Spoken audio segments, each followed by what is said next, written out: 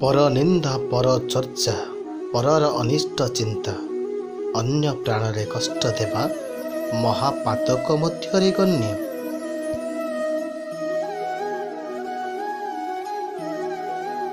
ସୁଖ ଭୋଗ କଲେ ଯେପରି ଦୁଃଖ ପଳାୟନ କରେ ସେହିପରି ହୃଦୟରେ କୃଷ୍ଣ ପ୍ରେମ ଜାତ ହେଲେ ହୃଦୟରୁ ବିଷୟ ବାସନା ଲିପ୍ତ ହୋଇଯାଏ।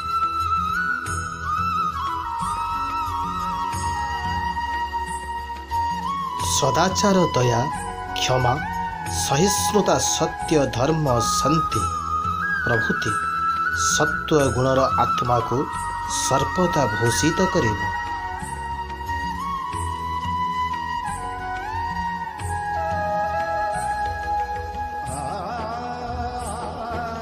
ସର୍ବଦା ସଦ୍ ଗ୍ରନ୍ଥ ପାଠ କର ସର୍ବ ଜୀବ ପ୍ରତି ସମ୍ମାନ ପ୍ରଦର୍ଶନ କର କାହାରିକୁ ଘୃଣା କର ନାହିଁ କାୟ ମନୋବାକ୍ୟରେ ଯଥାସାଧ୍ୟ ସମସ୍ତଙ୍କ ସନ୍ତୋଷ ବିଧାନ କର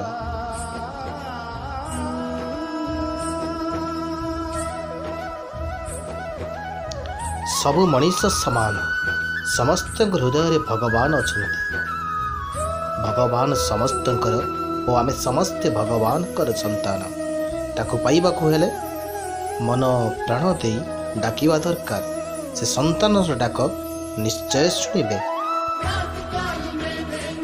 ଧନ ମନ ସୁନ୍ଦରୀ ସ୍ତ୍ରୀ ଏସବୁକୁ ତୁଚ୍ଛ ବୋଲି ଭାବିବ ବର୍ଷ ବର୍ଷ ପରିଧନ ଓ ସୁଖଲାଭ କଥା ଚିନ୍ତା କର ନାହିଁ ଏସବୁ କ୍ଷଣସ୍ଥାୟୀ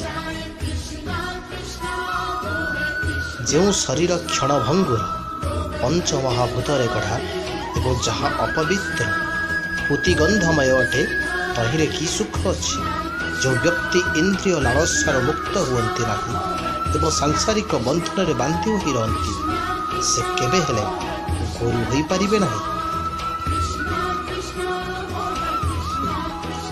ଗୁରୁଙ୍କ ନିକଟରେ ପୂର୍ଣ୍ଣ ହୃଦୟରେ ଶରଣ ନିଅ।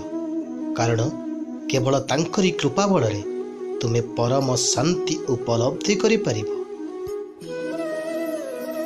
ପ୍ରକୃତ ଭକ୍ତର ସାମାନ୍ୟ ଭୋଗରେ ଈଶ୍ୱର ଆପ୍ୟାୟିତ ହୁଅନ୍ତି। କିନ୍ତୁ ବିନା ଭକ୍ତିରେ ସୁସ୍ୱାଦୁ ଦ୍ରବ୍ୟ ଅର୍ପଣ କଲେ ତାହା ଗ୍ରହଣ କରନ୍ତି ନାହିଁ। ଆନ୍ତରିକତା ସହିତ ପ୍ରାର୍ଥନା କଲେ ଭଗବାନ ମଣିଷର ଡାକ ଶୁଣନ୍ତି ମଣିଷ ମନରେ ବିସ୍ତାର କରିଥିବା ପାପ ଚିନ୍ତାର ଦୂରୀକରଣ ପାଇଁ ଗୁରୁଦେବଙ୍କୁ ପ୍ରେରଣା ଦେଇଥାନ୍ତି। ସାଧକ ସର୍ବଦା ନିଜକୁ ତୃଣଠାରୁ ମଧ୍ୟ ହୀନ ବୋଲି ଭାବିବା ଦରକାର।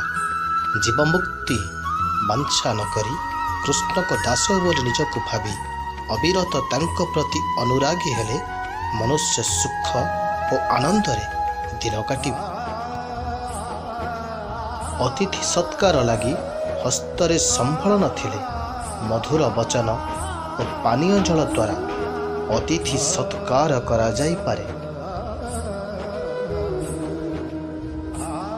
ଭଗବାନଙ୍କ ପ୍ରତି ଆସକ୍ତି ଆସିଲେ ଭାବଜାତ ହେବ ଏବଂ ଭାବଜାତ ହେଲେ ପ୍ରେମର ଉଦୟ ହେବ। ପରମାତ୍ମା ସେବା ହିଁ ମୁକ୍ତିର ଉନ୍ମୁକ୍ତ ପଥ। ଭଗବାନ ସେବା ଦ୍ୱାରା ସନ୍ତୋଷ ହୁଅନ୍ତି ଓ ସଙ୍ଗେ ସଙ୍ଗେ ସାଂସାରିକ ମାୟା ଉଭେଇଯାଏ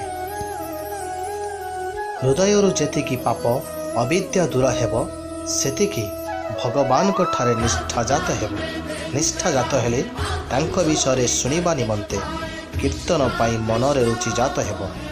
ରୁଚି ଯେତିକି ଅଧିକ ହେବ ଆସକ୍ତି ସେତିକି ବଢ଼ିବ। ଯେଉଁମାନେ ଜ୍ଞାନ କୁଳମର୍ଯ୍ୟାଦା ଧନ ଇତ୍ୟାଦିରେ ଗର୍ବୀ ସେମାନେ ଚିରକାଳ ଈଶ୍ୱରଙ୍କ ଦୟାରୁ ବଞ୍ଚିତ ହୋଇଥାନ୍ତି।